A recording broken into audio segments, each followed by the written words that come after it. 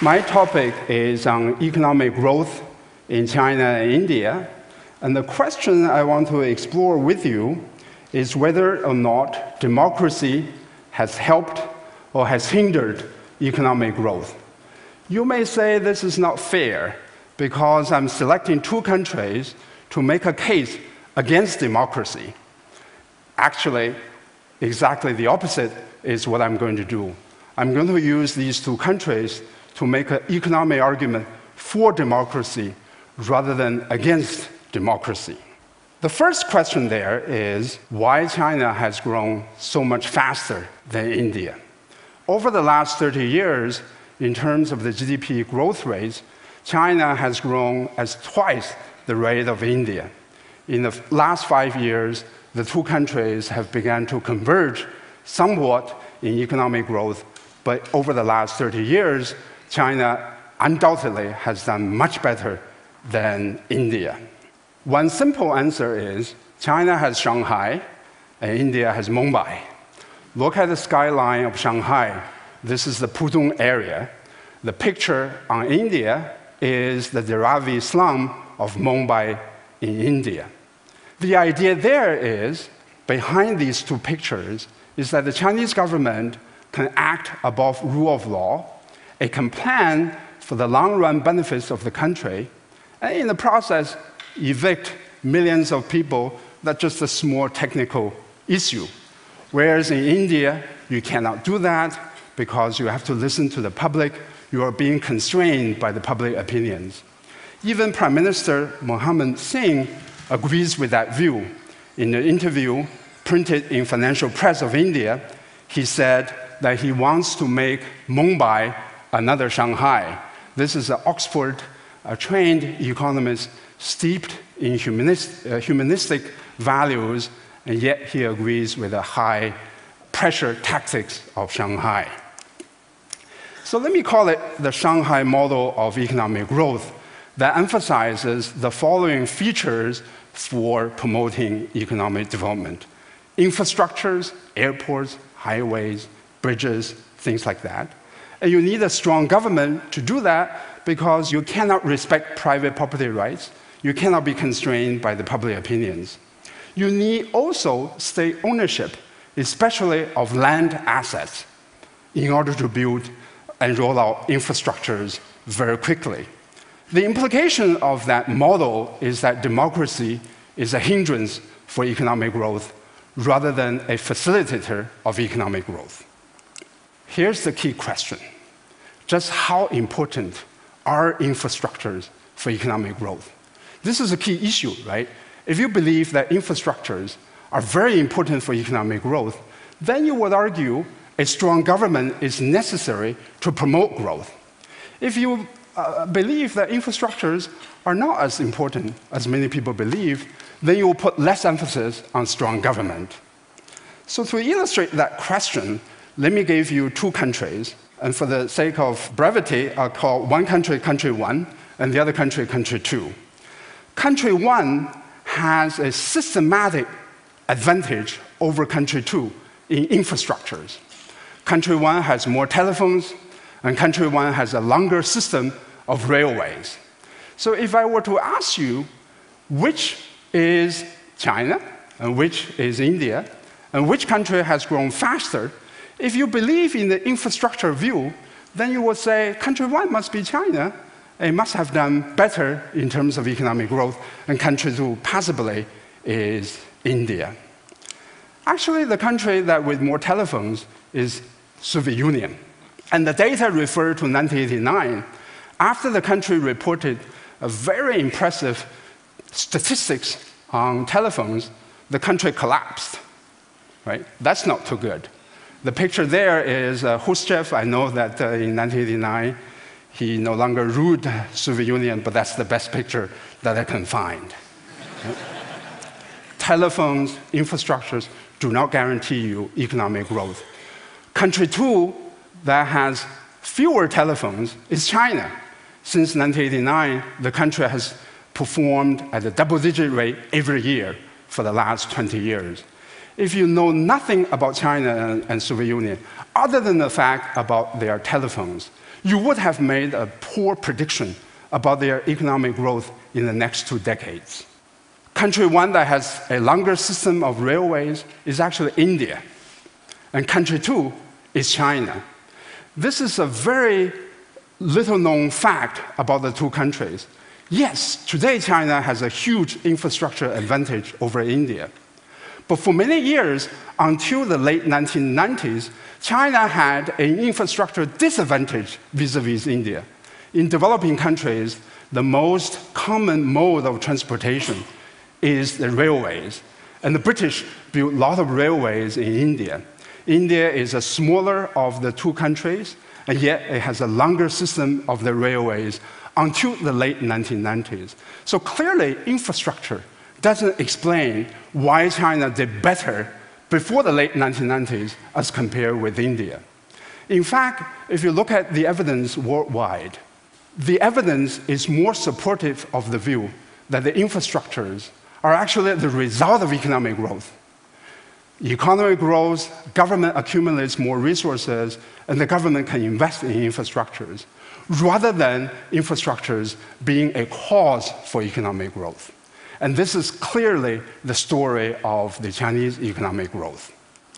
Let me look at this question more directly. Is democracy bad for economic growth? And let's turn to two countries, country A and country B. Country A in 1990 had about $300 per capita GDP, as compared with country B, which had $460 in per capita GDP. By 2008, country A has surpassed country B with $700 per capita GDP, as compared with $650 per capita GDP. Both countries are in Asia. If I were to ask you which are the two Asian countries and uh, which one is democracy, you may argue, well, maybe you know, country A is China and country B is uh, India.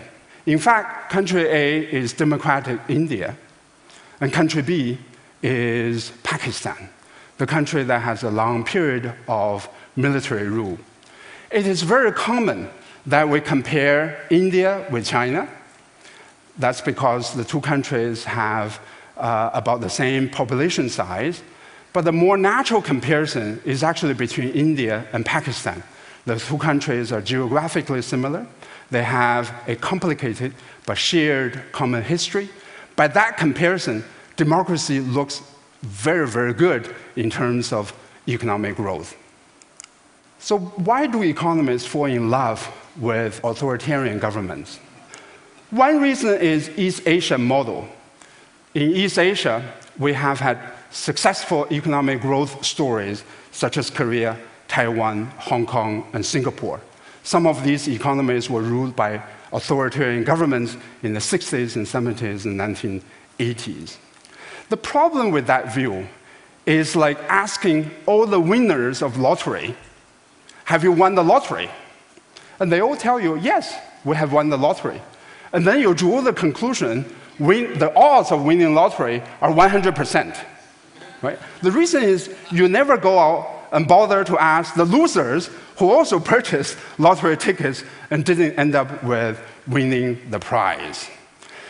For each of these successful authoritarian government in East Asia, there's a matched failure. Korea succeeded, North Korea didn't. Taiwan succeeded, China under Mao Zedong didn't. Burma didn't succeed, the Philippines didn't succeed. If you look at the statistical evidence worldwide, there's really no support for the idea that authoritarian governments hold a systematic edge over democracies in terms of economic growth. So the East Asian model has this massive selection bias. It is known as selecting on a dependent variable, something we always tell our students to avoid. So exactly why did China grow so much faster? I will take you to Cultural Revolution when China went mad and compare that country's performance with India under Indira Gandhi. The question there is which country did better China or India? China was during the Cultural Revolution. It turns out, even during the Cultural Revolution, China outperformed India in terms of GDP growth by average about 2.2% every year in terms of per capita GDP. So that's when China was mad. The whole country went mad. It must mean that the country had something so advantageous to itself in terms of economic growth to overcome the negative effects of the Cultural Revolution. The advantage the country had was human capital. Nothing else but human capital. This is the World Development Index indicator data in the early 1990s, and this is the earliest data that I can find. The adult literacy rate in China is 77% as compared with 48% in India. The contrast in literacy rate is especially sharp between Chinese women and Indian women. Okay? I haven't told you about the definition of literacy. In China, the definition of literacy is the ability to read and write 1,500 Chinese characters. In India, the definition of literacy, operating definition of literacy, is the ability, the grand ability, to write your own name in whatever language you happen to speak. The gap between the two countries in terms of literacy is much more substantial than the data here indicated.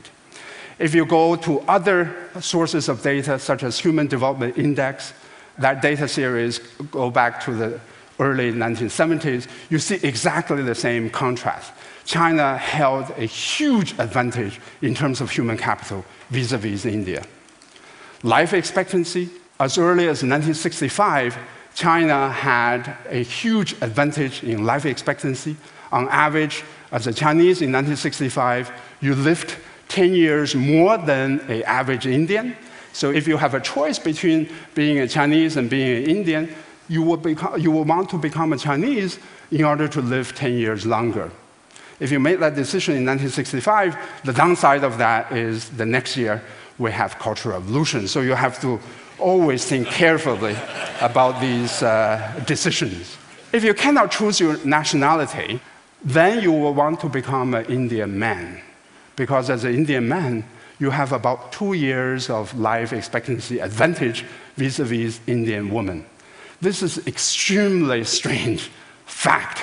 Uh, it is very rare among countries to have this kind of pattern. It shows the systematic discrimination and biases in the Indian society against women. The good news is by 2006, India has closed the gap between men and women in terms of life expectancy. Today, Indian women have a sizable life expectancy edge over Indian men. So India is reverting to the normal. But India still has a lot of work to do in terms of gender equality. These are the two pictures taken of garment factories in Guangdong province and garment factories in India. In China, it's all women. 60 to 80% of the workforce in China is women in coastal part of the country, whereas in India, it's all men. Financial Times printed this picture of Indian textile factory with the title, India poised to overtake China in textile. By looking at these two pictures, I say, no, it won't overtake China for a while. If you look at other East Asian countries, women there played a huge, hugely important role in terms of economic takeoff, in terms of creating the manufacturing miracle associated with East Asia. India still has a long way to go to catch up with China. Then the issue is what about Chinese political system? You talk about human capital, you talk about education and public health. What about the political system? Isn't it true that the one party political system has facilitated economic growth in China? Actually, the answer is more nuanced and subtle than that. It depends on a distinction that you draw between statics of the political system and the dynamics of the political system. Statically, China is a one party system, authoritarian, there's no question about it. Dynamically, it has changed over time to become less authoritarian and more democratic when you explain change, for example, economic growth, economic growth is about change. When you ex explain change, you use other things that have changed to explain change. rather than using the constants to explain change. Sometimes a fixed effect can explain change, but the fixed effect only explains changes in interaction with the things that changed. In terms of the political changes, they have introduced village elections, they have increased the security of proprietors, and they have increased the security with the long term land leases. There are also financial reforms in rural China. There is also rural entrepreneurial revolution in China. To me, the pace of political changes is too slow, too gradual. And my own view is that the country is going to face some substantial challenges because they have not moved further and faster on political reforms. But nevertheless, the system has moved in a more liberal direction, moved in a more democratic direction. You can apply exactly the same dynamic perspective on India. In fact, when India was growing at Hindu rate of the growth, about 1%, 2% a year, that was when India was least democratic. Indira Gandhi declared emergency rule in 1975. Indian government owned and operated all the TV stations. A little known fact about India in the 1990s is that the country not only has undertaken economic reforms, the country has also undertaken political reforms by introducing village self rule, privatization of media, and introducing Freedom of Information Acts. So the dynamic perspective fits both with China and in India in terms of the direction. Why do many people believe that India is still a growth disaster? One reason is they are always comparing India with China. But China is a superstar in terms of economic growth. If you're an NBA player and you are always being compared to Michael Jordan, you're going to look not so impressive, but that doesn't mean that you're a bad basketball player. Right? Comparing with superstar is the wrong benchmark. In fact, if you compare India with the average developing country, even before the more recent period of acceleration of Indian growth, now India is growing between 8 and 9 percent. Even before this period, India was ranked fourth in terms of economic growth among emerging economies. This is a very impressive record indeed. Let's think about the future the dragon vis a vis the elephant. Which country has the growth momentum? China, I believe, still has some of the excellent raw fundamentals, mostly the social capital, the public health, the sense of egalitarianism that you don't find in India. But I believe that India has the momentum. It has the improving fundamentals. The government has invested in basic education, has invested in basic health. I believe the government should do more, but nevertheless, the direction it is moving is the right direction.